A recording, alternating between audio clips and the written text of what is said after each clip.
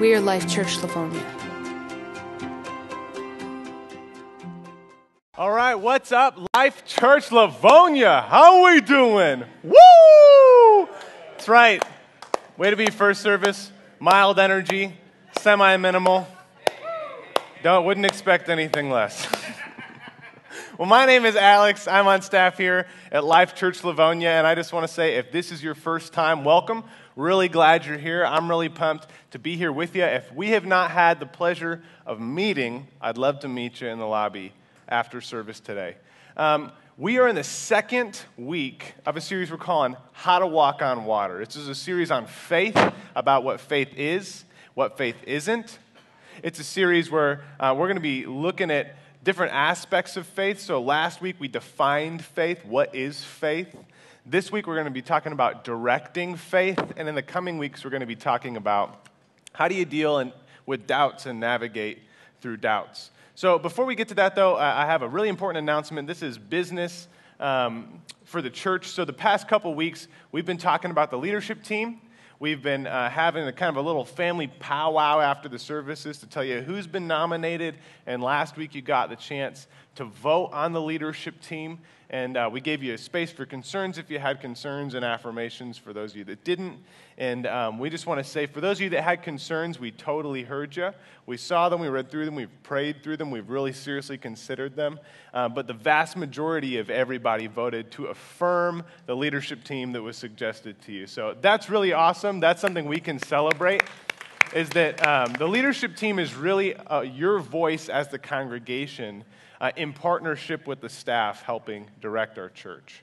And so, more details are going to be coming with that in the future. In the coming days, we'll be bringing the leadership team up, and you'll get to meet them um, kind of publicly on stage, and we'll pray for them as a family and all of those things. But uh, just wanted to let you know that.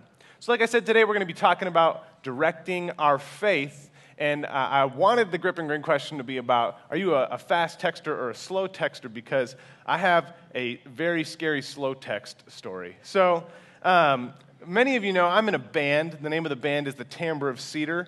I have a great time in this band. I'm technically the worship design coordinator here at Life Church Livonia. What that means is I'm in charge of all the stuff that happens here in the auditorium, including the band. So I organize that and lead them, and I'm often leading that here on a Sunday morning. If this is your first time, uh, you wouldn't know that. But that's what I do here for uh, my job and as part of my calling. Uh, but I'm leading a lot of things here. And why I love the Timbre Cedar so much is I, I get to do all the music stuff I do, but I don't have to lead Anybody there. I can just show up and Marty McFly my amp to 10 and play loud electric guitar, and it's awesome. I don't have to know where we're going. I don't have to know what's going on. I don't know when we need to get home.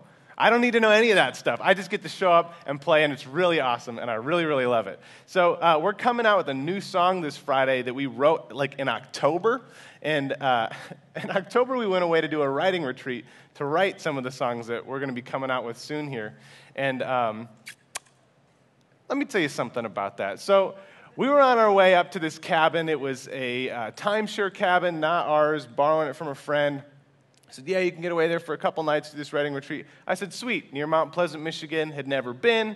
Um, so I text my buddy Sam, who's kind of the leader of our band and the organizer of everything. I said, Hey, Sam, hit me up with that, um, the address for that. And he says, Cool, text me the address. So I pack my stuff, get my gear in the car, get my clothes, and I'm on my way. So I'm driving to Mount Pleasant. I leave around, you know, it's Sunday afternoon. It was the same day as the um, Detroit Free Press Half Marathon, and I had run that that morning, so I was very much looking forward to like three hours in the car sitting and was very excited to not be running anymore. Uh, so I left around like 2 p.m., which meant that I was going to get there between 5.30 and 6 p.m. Not a big deal, but it's a new place I'd never been, and it's October. 5.30, 6 p.m. is when the sun sets. So I get to the destination and I pull up, and as I'm making the final turn, I just, I'm confused because what I see on Google Maps, which is better than Waze and Apple Maps, by the way, uh, is that I've arrived at my destination. But what I see in front of me is an abandoned, haunted farmhouse, complete with a creaking door in the wind, you know. And I, and I don't see their car. And I'm like, this can't be right. And so I text Sam and I'm like, hey, Sam, can you text me back? I, this is the wrong address. Can I get the new address, please? But like I said, it's like 5:36 p.m. So the sun's starting to go down and I'm getting a little nervous. And so I decide, you know what, Apple Maps, I dog you so much. I'm going to try you once more. I'm going to give you the benefit of the doubt here. This is your chance to redeem yourself. Plug the same address into Apple Maps. And to my joy, I see that it says the real destination is across the street. And I think, awesome, Apple Maps, you came through for me. And so I started driving across the street, but the issue was it was like a T. There was no across the street. I was here, and this was a forest. I was like, Apple Maps, this is why I hate you. but as I pull up to the stop sign, and I'm like, are you kidding me? What am I going to do? I notice Apple Maps isn't totally wrong. There is a small dirt trail through the trees, kind of hidden in the woods, that has tire tracks in it. And I'm like, wow, this is actually a cabin in the woods. So I drive across the street and kind of brave my way onto this dirt trail. And I drive down the trail probably a little bit farther than I'm actually comfortable with because I'm following these tire tracks and I'm, trying, I'm going, okay, well, we got to find a thing. And sure enough, I come upon a house. The lights are on, cars are in the grass, people are home. But there's still no van from my band. And I'm like, oh my gosh, Apple Maps, this isn't right either. And so I go to get out to ask these people for directions, and then I pause as I'm opening the door and think to myself, wait, these people live on a hidden trail in a cabin in the woods. they, is this, am I going to shoot me if I show up unexpectedly? And I ran a half marathon that morning, so I'm a little delusional, and I'm, my rationale is not totally clear. And I think to myself, I'm going to die out here. Uh, Sam isn't texting me back. These people are going to kill me. And so I gently close my door and try with as little sound as possible to back up and kind of reposition to come back out this dirt trail. And I park again by the haunted house. At this point, I need my headlights on to see because it's actually dark. And I'm really starting to get scared, and I'm thinking, what am I going to do? What if Sam doesn't text me back? What if he didn't see my text? What if his phone is dead? What if this happens? What if that happens? And in my kind of panicking, just to complete this scenario, this scrappy looking wolf like dog comes wandering out from behind this abandoned farmhouse and starts pacing the yard watching me. And not like, you know, like cute dogs watching, oh, are you my new friend? But like, oh, are you my new meal kind of thing. You know, so he's like watching me, watching me, and I'm like, Okay, I'm going home. I'm done. This is it. I'm not going to die out here. The band is fun. You guys aren't worth it. I'm not going to do this. And so I start actually driving away, and then Sam texts me back, Oh, dude, my bad. Sorry. this is like a half hour later. Sorry. Here's the actual address. And so, you know, he texted me just in time, but I was so scared, and I was so mad. I was, I was thinking the worst things about Sam in my mind. He's one of my best friends, and I'm just like trashing him, like, okay, Sam, yeah, I'll text you the address. Okay, Alex, you know, really funny, abandoned farmhouse, Sam, you know. And I'm thinking these awful things about my poor friend. I was really afraid in that moment, and, and my fear caused a lot of what ifs. You see, what we're going to be talking about today is fear and faith. And all of us are really looking for, we're really made for stability and security. Lots of things happen in life that make us afraid. That's just a part of life. And fear is destabilizing by nature. Sometimes those things are small, we get over them quickly. Sometimes those things are life changing and cataclysmic events that mark and scar our lives in deep ways. But whether they're small, like uh, Sam not texting me back quickly, or whether they're really big, fear is destabilizing. And when we fall prey to fear, we start asking, what if? I goes, what if Sam doesn't text me back? What if I die out here at the hands of these people in the woods? what if this dog makes it into my car and eats me? right? But there are more serious ones too, like what if mom doesn't recover from the accident? What if he or she in this relationship doesn't want to work through it anymore? What if I don't have what it takes? Because this is so hard right now. What if the bill is higher than I thought, or that check doesn't come in on time?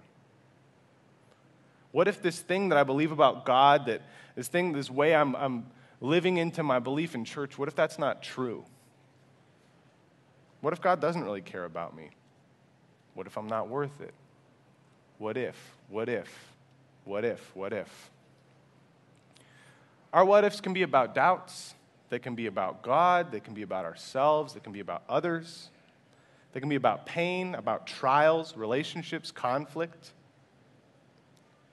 In order to restabilize in the midst of these what ifs, we have to fill in a gap.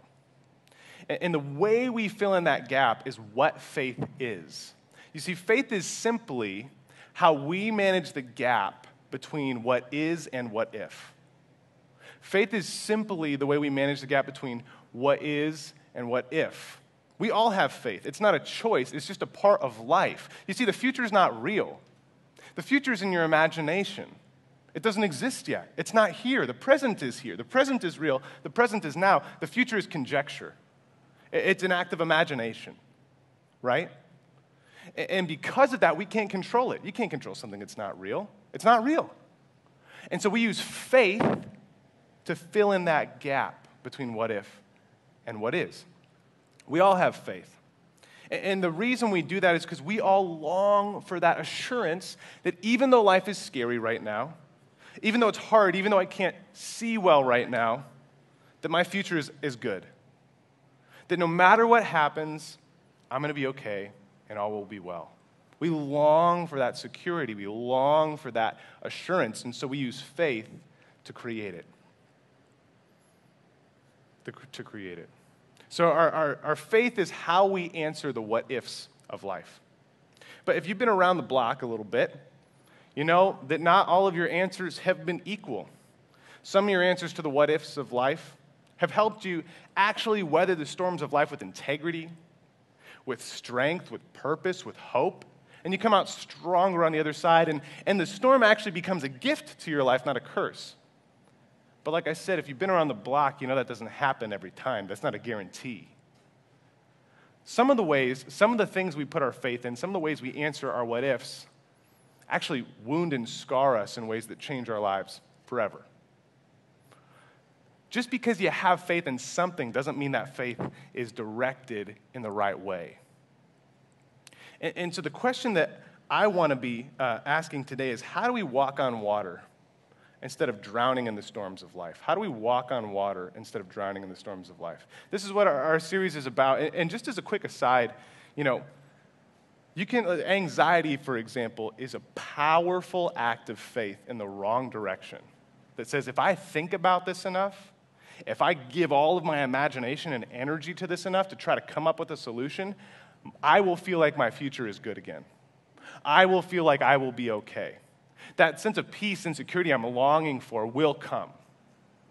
But if you struggle with anxiety, you know the opposite is true. It destroys your life. It totally isolates and encapsulates you by yourself and, and, and hurts you in deep ways. That's a powerful act of faith, but it's a bad direction. That's how we answer the what ifs. So, how do we walk on water instead of drowning in the storm? Well, to answer our question, we're going to take a look at the life of a man named Peter. This series is taken from a really specific scripture. The, the title is taken from a specific scripture in the New Testament in the book of Matthew. And um, you know, I don't claim to have all the answers about this stuff. This is really hard. Life is really complex.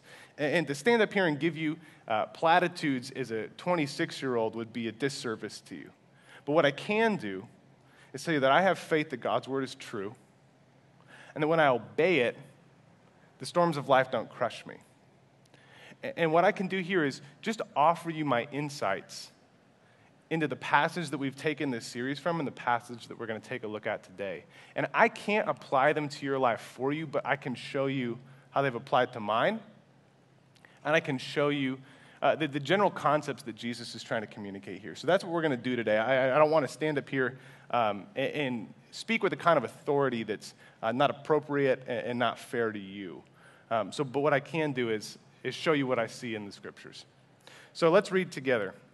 It says, Immediately, Jesus made the disciples get into a boat and go on ahead of him to the other side while he dismissed the crowd. After he dismissed them, he went up on a mountainside by himself to pray. Later that night, he was there alone, and the boat was already a considerable distance from land, buffeted by the waves because the wind was against it. Shortly before dawn, Jesus went out to them, walking on the lake. When the disciples saw him walking on the lake, they were terrified. It's a ghost, they said, and they cried out in fear. But Jesus immediately said to them, Take courage, it is I. Don't be afraid. Lord, if it's you, Peter said, tell me to come to you on the water. Come, he said. Then Peter got down out of the boat, walked on the water, and came toward Jesus. But when he saw the wind, he was afraid. Beginning to sink, he cried out, Lord, save me! And immediately Jesus reached out his hand and caught him. You have little faith, he said. Why did you doubt? When they climbed into the boat, the wind died down. Then those who were in the boat worshiped him, saying, Truly, you are the Son of God. So, as I studied this passage, uh, I noticed three things that really stood out to me. And again, I don't um, want to claim that I have more authority or information or answers on this um, than are in the scriptures, but these things really stood out to me in regards to how do you walk on water. The first thing I noticed is that there's multiple storms going on here. You see, just before this passage takes place, this is in the middle of chapter 14 in the book of Matthew. What we find out at the beginning of chapter 14 is that Jesus' cousin John the Baptist has been killed. Jesus finds that out for the first time in the beginning of chapter 14. And just so you get a, a picture of what kind of impact this had on Jesus, um, John was probably the person that understood Jesus most for who he truly was as God's son, more than any other person on the planet. And John and Jesus' mothers hung out, were, were, were our relatives, but close friends before they're even born. And so Jesus and John were raised together. And it's really clear from the scriptures that God's hand was on John's life in a very unique way, almost as unique as Jesus' life. And John is there with Jesus in all these kind of major moments of Jesus' life. In fact, when Jesus begins the ministry he's now doing, the one that inaugurates that with baptism, baptizing Jesus, is John himself. And, and Jesus speaks with John with such insider language in that moment. John says, Jesus, you know that you should be the one baptizing me. I shouldn't be doing this. And Jesus says, But this is right. This is what the Father wants. And John says, You're right. You're right. And baptizes Jesus. And, and I love reading that because you can tell just by what they don't say the knowledge between them, the understanding between them. And I don't know if, you, if you've led things before, but you know, as a parent, as a leader, it, it's so easy to feel so alone and like nobody gets it. But John got it for Jesus. John got it. He knew what was up. And now he's dead. And Jesus finds this out and is crushed. And so it's, the Bible says that he goes to be alone. He goes to go off by himself and pray.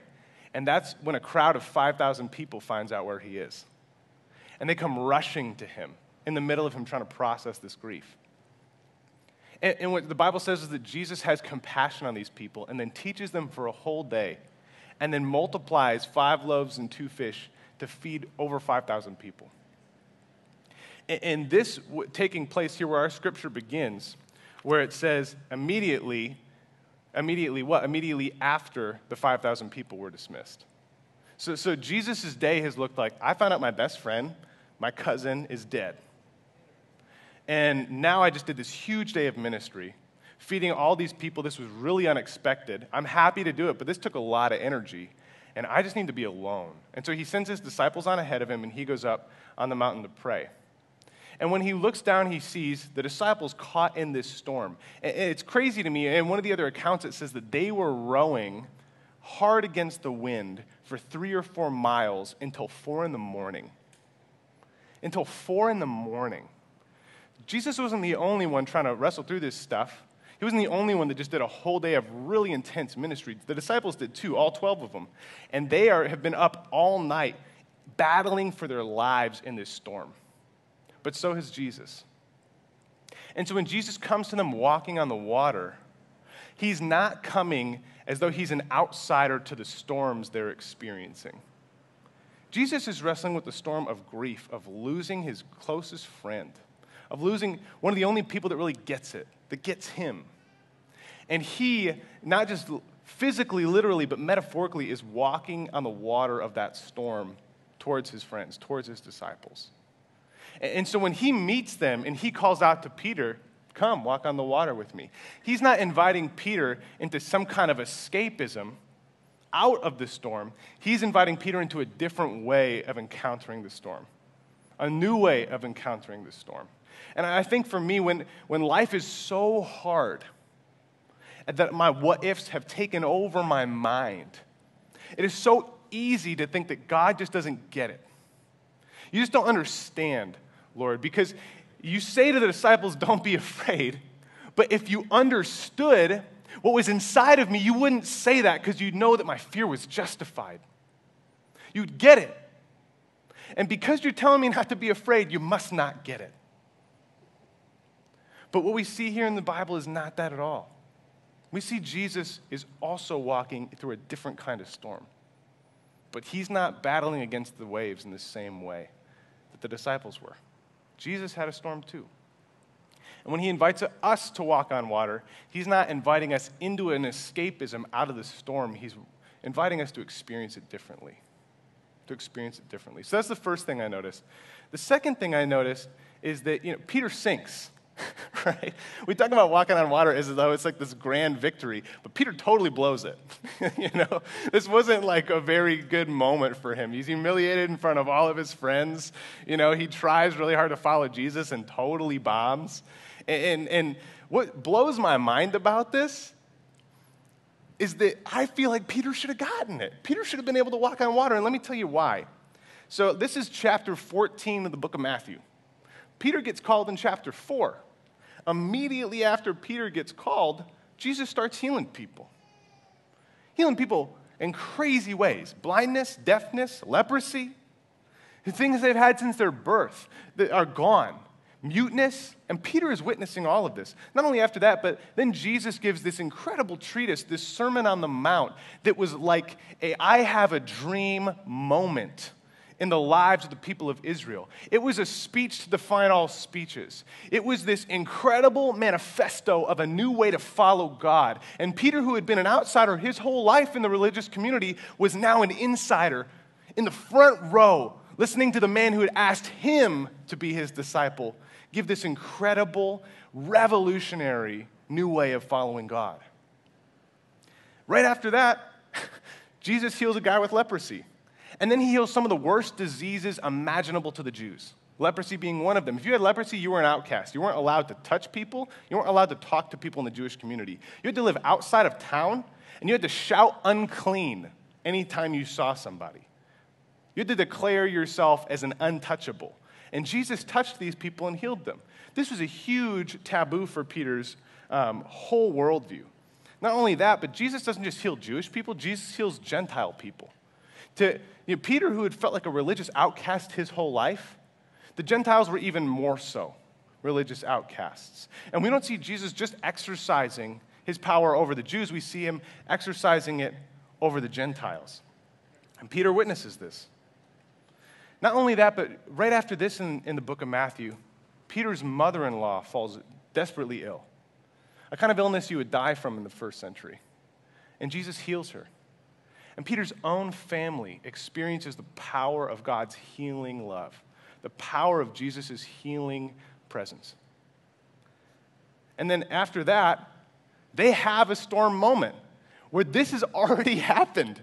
They are out trying to cross the sea. They're pro fishermen. They know how to work a boat, and they are struggling in this storm, and they think they're going to die. Jesus is asleep in the boat, and they wake him up and go, Jesus, save us! And Jesus rebukes the wind and the waves. They calm right down, and he looks at all the disciples and go, Why'd you have such little faith? It's the same Greek word when he says this to Peter. Why'd you have such little faith? What's going on here? Why'd you have such little faith? So Peter's already experienced not only countless miracles, but almost this same scenario before. Almost this exact scenario. And he still blows it. He still totally blows it. And I think for us, many of us have this, this idea about faith that there is this, you must be this tall to ride kind of sign with the kingdom of heaven. You know, yeah, you got a little faith, but not enough to get on the big boy rides. Not enough to do the big miracles. Let me tell you something. You know, and what's so incredible to me is Peter's little faith doesn't go away after this event. In fact, Peter has a very tumultuous relationship with faith his whole life. And what's so cool to me is we see Peter here kind of in the middle years of his life. But he writes the book of 1 Peter after Jesus' resurrection, after he's been pastoring as the rock of the entire church of the world. The papacy, the pope, comes from Peter. The pope uh, comes from this idea that that is the lineage of Peter as the rock of the church. And, and so Peter is essentially the pope of the first century. And, and in the book of 1 Peter, he ends it with, do you can cast your anxieties on God because God cares for you which is such this immense statement of faith and trust in God. And so we see Peter end there, but he's not there yet. And what strikes me about that is even though Peter has just a little faith, he walked on water. Even though he has just a little faith, he became the rock of the church. Even though he has just a little faith, he led the church through the greatest trial of persecution and suffering in its history. Even though he had just a little faith, even though he had just a little faith, just a little faith was enough for Jesus. Just a little faith was enough for Jesus. There was not a you must be this tall to ride sign. To Jesus, Peter's little faith was enough faith to do great things with. Peter's little faith was enough faith to do great things with. This was a lifelong journey for Peter, and I'll come back to some of the other blunders that he made later, because after Jesus' resurrection, he blows it a couple more times, real big, real big. But just a little faith was enough. The third observation I had is that Peter started sinking when he saw the wind. You can't see the wind. The wind is literally invisible. It's like a whole metaphor for things that you can't see. you know what I mean? Like, this doesn't make any sense to me. And what's amazing about this is I just saw myself in that. Because here Peter is standing on waves, looking at Jesus, who is actually in front of him, also standing on waves. And Peter gets distracted by something he can't even see and that gap between what is and what if, that power over what holds my future here, the imagination that gives him faith in Jesus has now been captured by something that he can't even see. And I just thought, holy cow, is that me? All of my worries are the wind. They're not really, I can't see them. I just feel them. And I can create these radical, elaborate futures based on information I have totally made up just a couple seconds prior. And that just rocked my world. Because what happens here, the reason Peter starts to sink is not that he didn't have enough faith, it's that he had misdirected faith. A little faith was enough to Jesus. But that little faith, while it was pointing at Jesus, allowed Peter to experience that storm in a very different way. And as soon as Peter's faith, as soon as his imagination gets captured by something other than Jesus, it runs away. And what blew my mind too is thinking about that while uh, that, that what had captured Peter's faith had determined his future. Peter became just like the thing that had captured his faith. While it was Jesus, he was acting like Jesus. Jesus was standing on the water. And while Peter's faith and imagination were captured by Jesus, Peter was standing on the water. When Peter's faith and imagination are captured by the waves, because that's the only way you can see the wind with water, when it was captured by the waves, he became just like the waves and became part of the tumultuous sea. And he cries out to Jesus to save him, and Jesus does. And what's so funny here is um, two things that Jesus doesn't scold him. I think many of us feel that, like, uh, that not having enough faith means God is disappointed in who we are or something. That like our, our trials, our storms are a disappointment to God. And He's looking, going, you know, this wouldn't have happened if you just had a little more faith in me. And, and what I want to communicate today is that's not the case. It's not the amount of faith that's the problem. Jesus said, with a mustard seed, a little bit of faith, you can move mountains into the sea. The little bit of faith wasn't the problem. The problem was that it was misdirected. It's something else, something that wasn't Jesus. And Peter's future became directed by the thing that had captured his faith. Now, those are my observations for, for uh, this scripture on how we walk on water. But as I was just praying and asking God, you know, Lord, what do you want them to know? What do you want me to know to help us to not be afraid? Because those are great uh, insights, but that doesn't eradicate my fear in the midst of the waves. And God just said to me, I want them to know that I am with them in the waves. That I am with them in the waves. And that no matter what is going on in your life, whether your faith is directed at the wind, because Jesus didn't magically disappear. He's not an imaginary character that just disappeared once Peter's faith was captured by something else. Jesus is right there. He was right there the whole time when Peter was doing well and when he was doing really poorly. When Peter was succeeding and when he was failing. When he was standing and when he was sinking. Jesus was right there in the waves. And what Jesus says that I caught this time around reading this was that it's not that we need to um, not be afraid because it makes sense, which is what I jumped to, right? Like, okay, Lord, show me the future and it will make sense, and now I'm not afraid. Because I want that security. I want my what if to be answered by, it's okay, bud, your future, it's good. It'll be all right, it's okay. And Jesus doesn't give us that, which is infuriating, but true. What Jesus said is, hey, it is I. It's me. I am here. Don't be afraid. And what struck me about that, why that's so important, is that my anxieties come from the idea that I can't control the future because I can't control the wind and the waves. They don't obey me. And what Jesus is saying, because they've experienced the same situation before, what he's saying is, guys, I am here. The wind and waves might not obey you, but they do obey me. And I am with you in the waves. So don't be afraid. So don't be afraid. So, how do we practically direct our faith in the midst of storms? How do we practically apply this to our lives in a tangible way, in a tangible world? Um, a couple things really stood out to me here uh, that, that Jesus kind of says to Peter, and, and just uh, some things from the text that really uh, captured my imagination, I guess. The first thing was that if you want to stand in the waves, you have to be ready for the up and down. That faith is an up and down journey.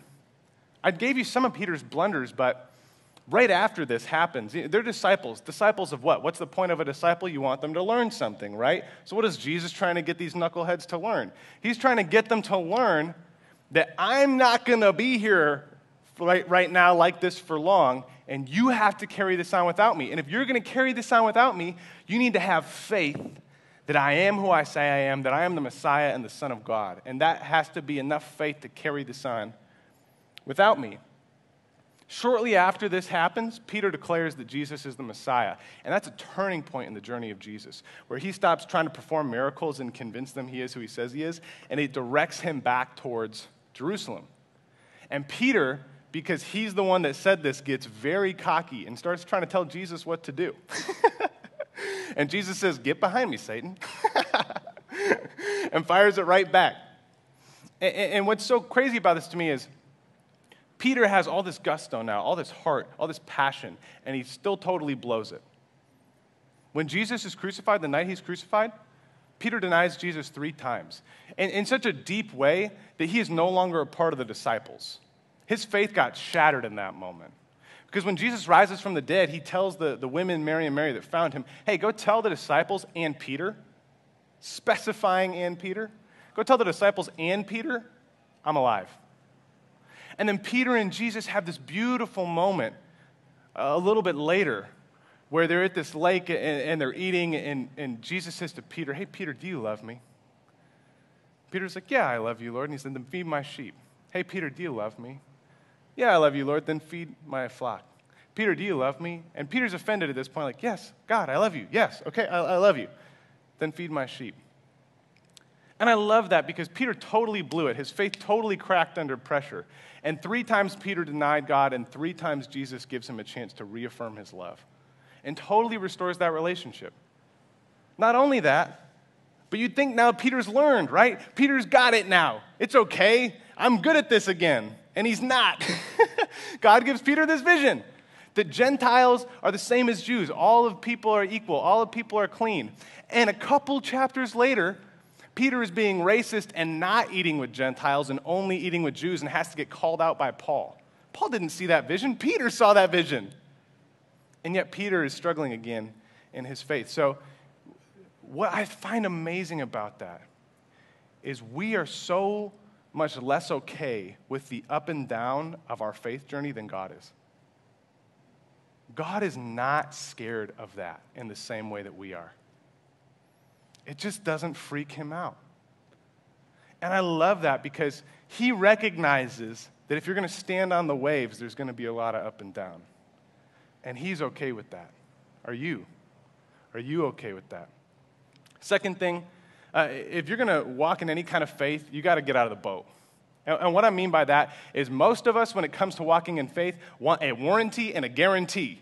We want, I want to be sure this works, and just in case it doesn't, I want to be able to bring it back with a full refund. You know what I mean? Like, we want this, this like foolproof idea that, okay, if I step out, I'm not going to fall. Okay, you know what I mean? Like, we, we want that, and we don't get it.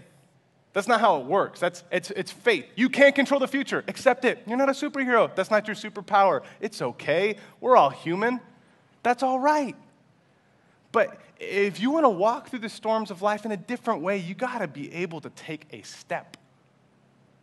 And whatever that is right now, again, like I said at the beginning, I don't know your life, I can't speak for you.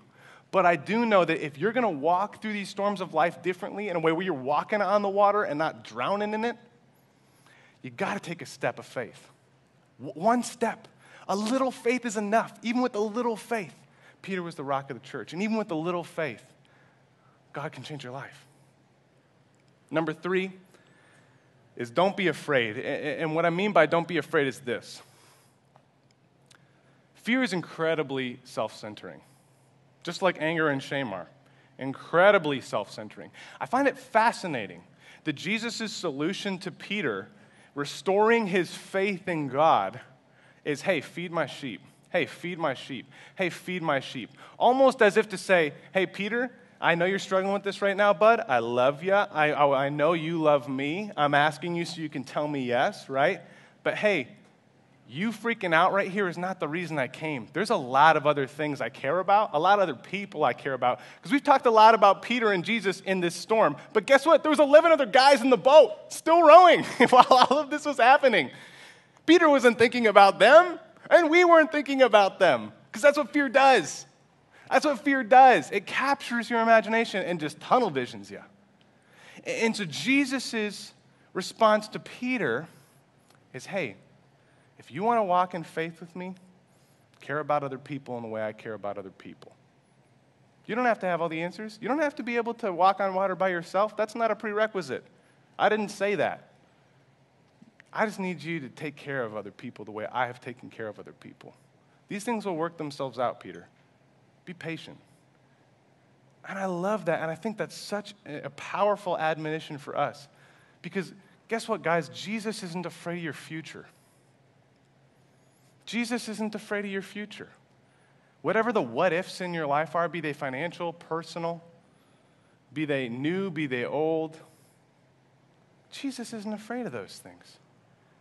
And he, he's just kind of, I just see him kind of hugging Peter like a dad around the shoulder here and going, hey, bud, I know you're really scared right now. I know this is really hard, but there are other people here that I care about. And I need you to care about them too. And if you want to get out of this cycle of fear and live in faith, care about the things I care about. That's how you walk with me. Because you can't follow me unless you follow me. If I'm loving people and you're not, you're not walking with me on the water.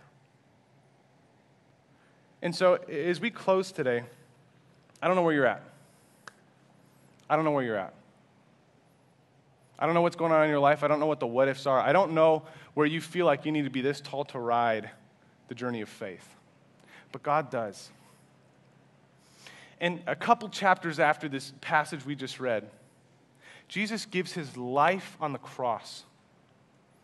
And he gives his life on the cross so that all of our sins, all of our fears, all of our failures, all of our shame would be put to death with him in the grave. And when he rises from the dead, I find it so interesting he reconciles with Peter when he rises from the dead and not before.